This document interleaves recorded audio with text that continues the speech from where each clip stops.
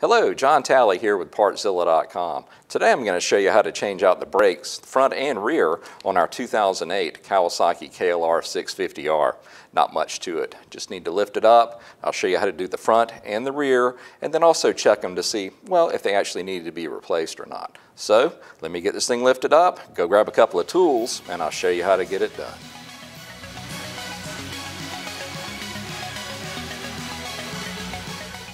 All right, guys, this is a skill level one, so it's going to be a pretty easy procedure. Now let's go over some of the tools that you're going to need to get it done. Basically, you just need a 3 8 ratchet, an 8 and a 12 millimeter just socket, then you need a 5 millimeter Allen, and just a basic flat blade screwdriver. Other than that, if you would reference our, our parts diagrams, and plus that will help you get more of a mental image of how things are taken apart, and more importantly, how they go back together. So once you have your parts and your tools together, we can get it done. All right, well, let's get these uh, brake pads on the rear swapped out. Go ahead and get this bracket out of the way. Otherwise, it makes it really difficult to get down to that, uh, that lower bolt that holds the, uh, the caliper bracket. But before you remove that, let's go ahead and break loose these two um, pins right here that the brake pads actually ride on. Because I guarantee you, it's a lot easier to do it out here with it still mounted Then after you uh, remove those two bracket bolts. Now we can get those out.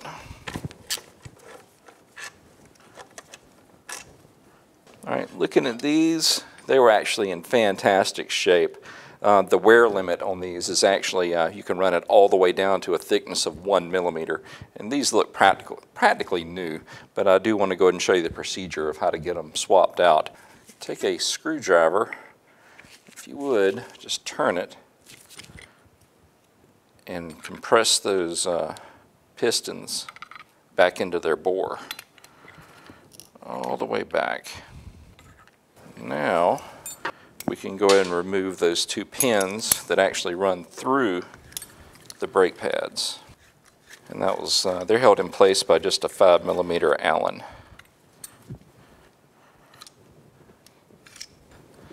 That, just lift out.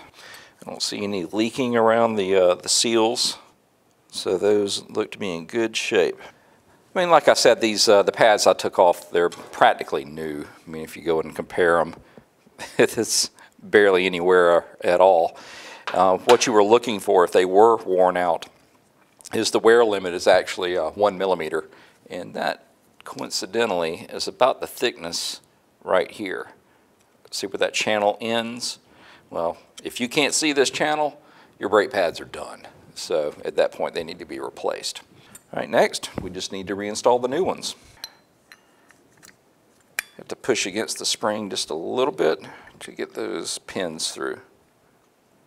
Just get them started. Then we'll get the other one on.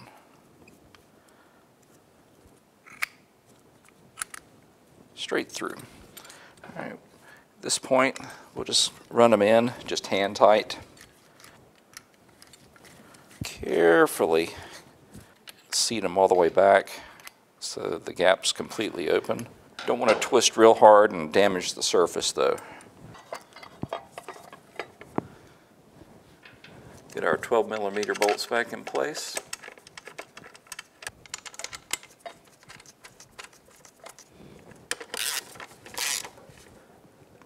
Those snug down.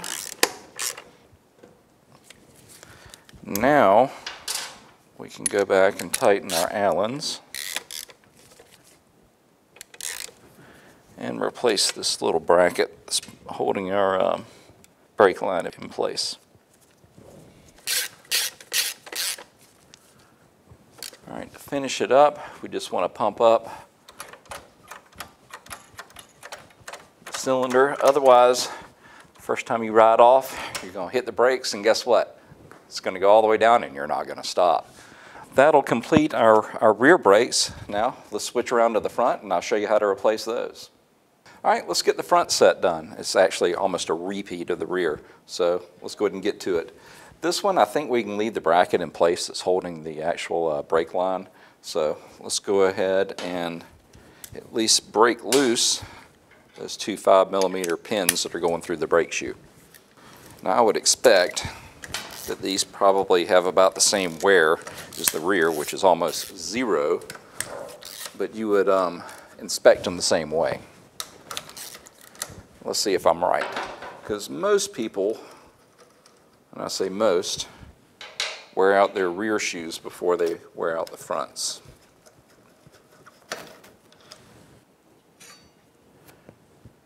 And yes, almost nowhere. But let's go ahead and collapse the, uh,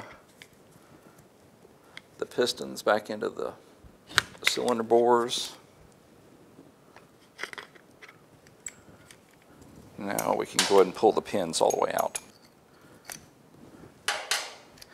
Something I didn't mention on the rear brake pads are these pins.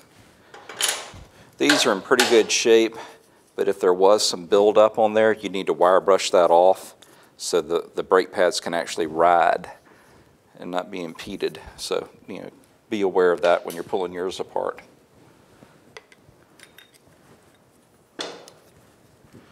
Yeah, very little wear. A little bit of damage right there. You see that? So something may have gotten caught up in the brake pads. Got caught in between the rotor. Rotor looks good. I don't see any glazing, just a normal wear pattern. So, let's open up our pads and go ahead and get them replaced. All right, go ahead and put those in, the, the inside set, push them down on that spring, get your pin just started. Same thing for the other side.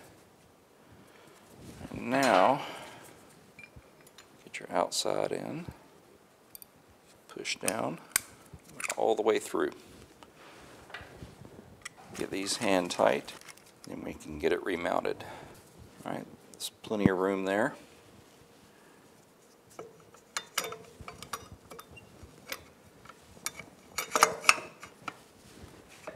Get our 12 millimeter bolts back in. Get those snug back down. Do not forget to tighten down those two pins. With that, now go ahead and pump up your front brakes. Well, all right, guys, that pretty much wraps this one up. Uh, there is one more thing. You need to follow me over to uh, our brake bleed video because pretty much every time you replace your brake pads or your rotors, it's a good habit to go ahead and uh, go ahead and bleed the brakes. So if you would find that on our YouTube channel and I can show you how to do it. Well listen, if you need any of the parts that we use to do this, why don't you come see us at partzilla.com and we can get you taken care of. If you have any questions or comments, just leave them in the section below and I'll do my best to answer them. Until next time, we just want to say thanks for watching.